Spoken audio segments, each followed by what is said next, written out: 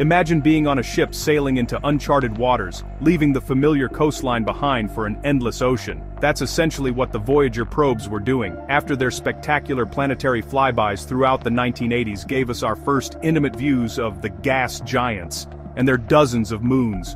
The Voyagers just kept going. Their trajectory was carrying them towards the edge of the sun's influence, a theoretical boundary that no one had ever directly observed. As they traveled farther, their instruments continuously measured the solar wind, that constant stream of charged particles flowing from our star at a million miles per hour. As expected, the solar wind grew weaker, and its density thinned. This data was crucial for scientists like Dr. Alan Cummings, a cosmic ray physicist at Caltech who has been with the Voyager mission since its inception. He and his colleagues were watching for the moment the solar wind would finally succumb to the interstellar medium, the tenuous mix of gas, dust, and plasma that fills the space between stars.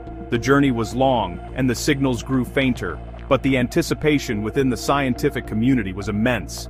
These probes were about to answer one of the most fundamental questions we have, where does our solar system truly end?